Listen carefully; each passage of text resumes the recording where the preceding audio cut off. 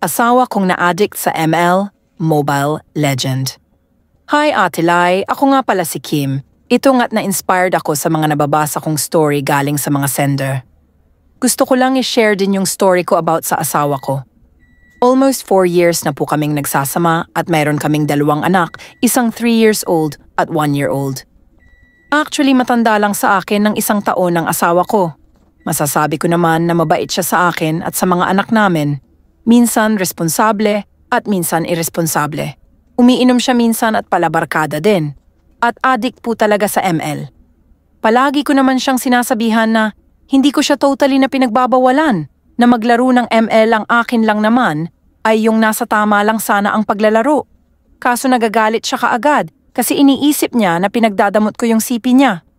Nang minsan, kasi di na siya nakatulong sa akin sa bahay at pati na sa mga anak niya.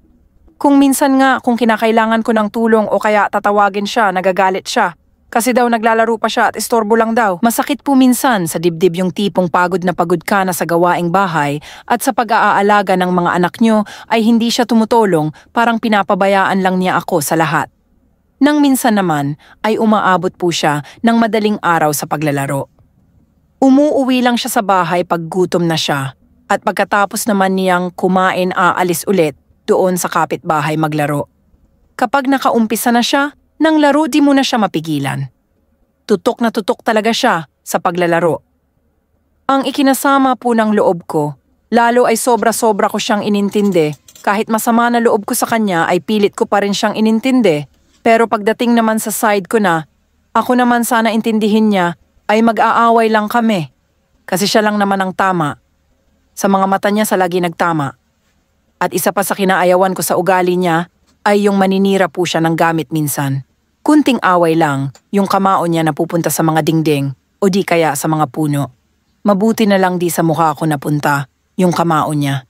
Di ko na po siya naintindihan. Kahit anong sabihin ko at pakiusap wala pa rin.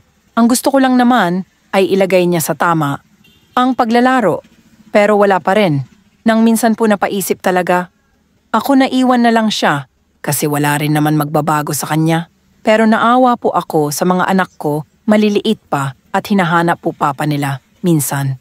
Ayaw ko kasing matulad sila sa akin na lumaki na, wala sa tabi, ang ama. Hanggang ngayon po nagbabasakali akong iwan niya, ang paglalaro at magbabago na siya. Hanggang dito na lang po